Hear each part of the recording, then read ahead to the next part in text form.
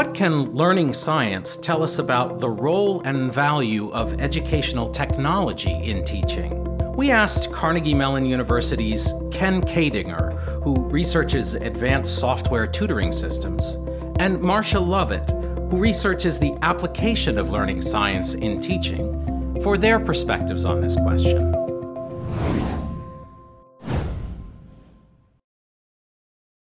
A product cannot be evaluated outside of its educational context.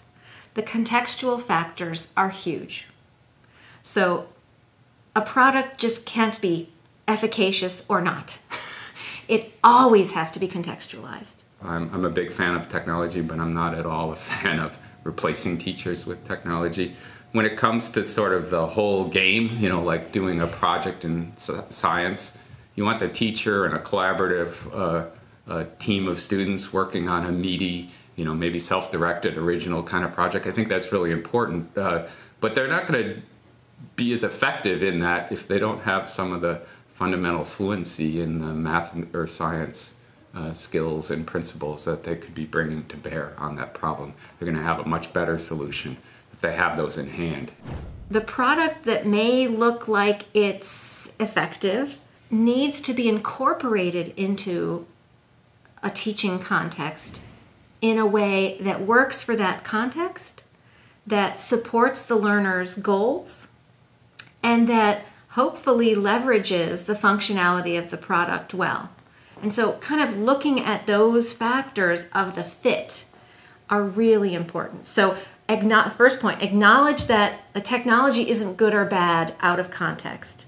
And then once you put it into a context, think about does it fit the context? Am I incorporating it into the teaching so that it's not an add on? We hear that a lot among students. I have all these technologies I'm supposed to use. I don't know what I'm supposed to use when. I don't see the value. Clearly, the technology hasn't been incorporated well enough, and it's not allowed then to express its full potential. You can think of it as algebra is like you got to convert this problem in English into this new language. It could be Greek, right?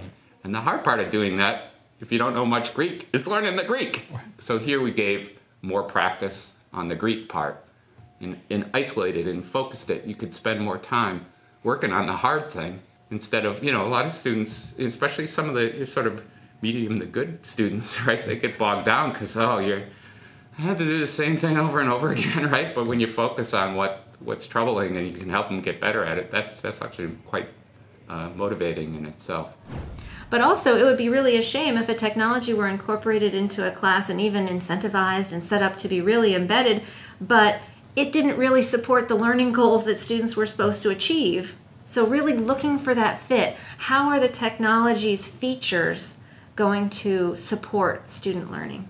We, we know that to become an expert in something, it really takes a, a lot of practice. You want to be good at basketball, you got to shoot a lot of three, three free throws. You want to be good at basketball over the whole season. Um, this is a great example from John Wooden that he teaches his players at the beginning of the year how to put their socks on that's kind of like one of these C's, like how many coaches worry about socks? Well, he figured out that one of the causes of failures in his teams is he's got great players sitting on the bench midway through the season because they have blisters on their feet, right?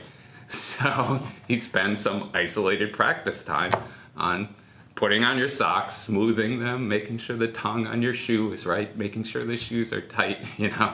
To use that analogy, you do some isolated practice. These computer-based systems can really you know, leverage the teacher because they can provide that individualized feedback, right, uh, for every student that needs it and move at different paces to get those basics. But yeah, then you play basketball, and that's where the you know the the the, the teacher coach can really uh, shine uh, in a way that the technology can't.